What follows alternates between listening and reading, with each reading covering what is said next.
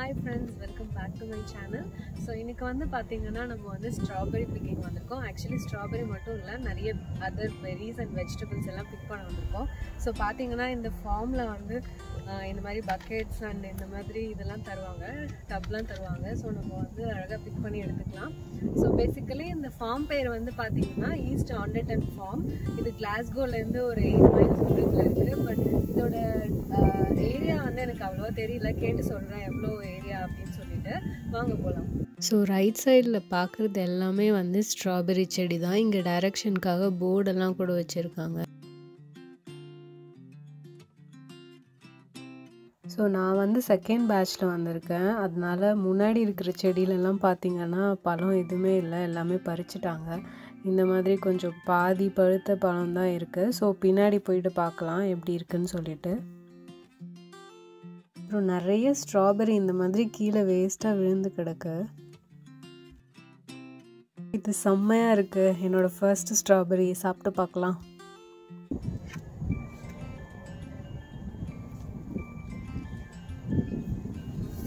Really good செம்ம அந்த ஸ்ட்ராபெரியோட smell வந்து செம்மையாக இருக்குது உடனே பிக் பண்ணதுனால. ஸோ இப்போ வந்து ஸ்டார்ட் பண்ணலாம்.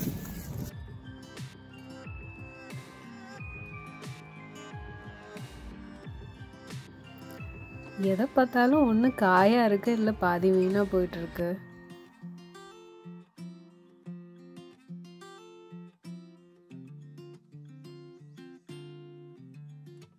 இந்த செடியில் இருக்கிறதெல்லாம் பார்க்க செம்மையாக இருக்குது பாருங்கள் எல்லாம் நல்லா ரைப்பாக இருக்குது கிட்டத்தட்ட ஒரு பத்து ஸ்ட்ராபெரியாவது இருக்கும். இது எல்லாத்தையும் இப்போ பிக் பண்ணிடலாம்.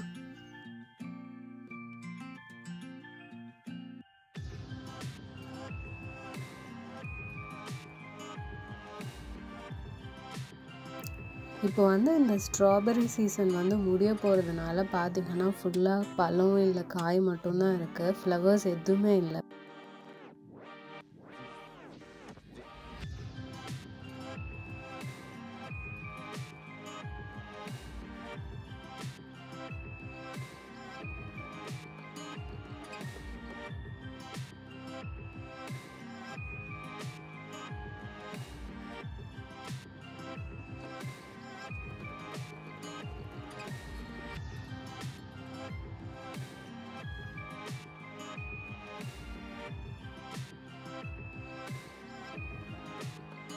பாருங்க அந்த சன்லைட்டில் வந்து எப்படி வந்து அப்படியே பளபளன்னு கிளிட்டர் ஆகுதுன்னு சொல்லிட்டு.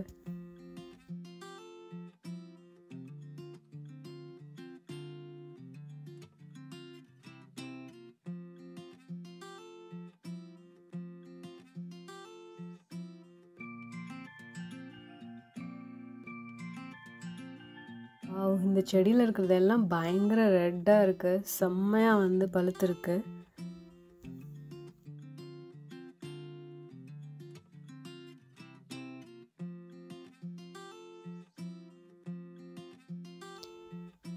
நிறைய ஸ்ட்ராபெரிஸ் பிக் பண்ணுறதால இந்த மாதிரி பாதி வந்து கொஞ்சம் காயாக எடுத்தோன்னா வீட்டில் வைக்கும் போது அது ரைப் ஆகிடும் ஒரு டூ டேஸில் வச்சு சாப்பிட்றதுக்கு கரெக்டாக இருக்கும்.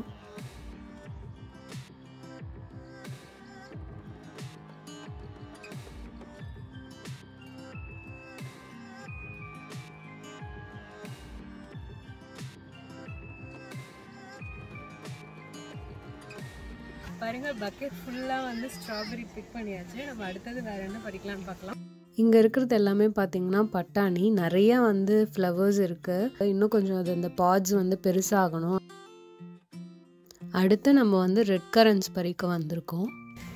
இது கொஞ்சம் புளிப்பாக இருக்கும். இதெல்லாம் காயாக இருக்குது ஆக்சுவலி இது பாருங்கள்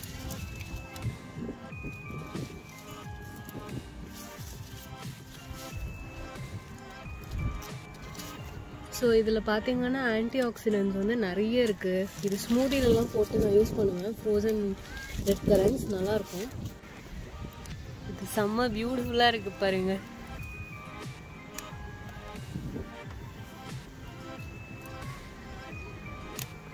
ரெட் கரன்ஸ் வந்து இப்போ கம்மியாக தான் இருக்குது எல்லோரும் பறிச்சுட்டு போயிட்டாங்கன்னு நினைக்கிறேன்.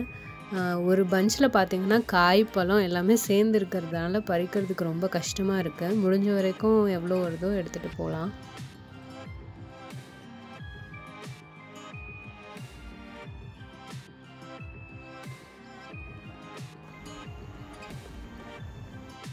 அடுத்து வந்து நம்ம கூஸ்பெரிஸ் பறிக்க போகிறோம் இந்தியாவில் வந்து நெல்லிக்காவை தான் நம்ம கூஸ்பெரிஸ்ன்னு சொல்லுவோம். பட் பார்த்திங்கன்னா நெல்லிக்காய்க்கும் இதுக்கும் சம்மந்தமே இல்லை. பட் எனிவேஸ் அது அப்படி தான் சொல்கிறாங்க ஆனால் இங்கே இருக்கிற இந்த கூஸ்பெரியில் பார்த்தீங்கன்னா உள்ள சீடு எதுவுமே கிடையாது.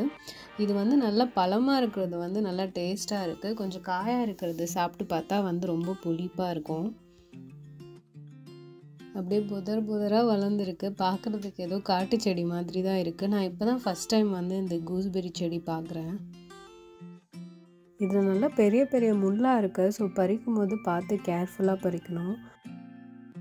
இந்த மாதிரி நல்லா சாஃப்டாக இருக்கிற ஃப்ரூட் சாப்பிட்டா வந்து நல்லா டேஸ்ட்டாக இருக்குது புளிப்பாலாம் இல்லை.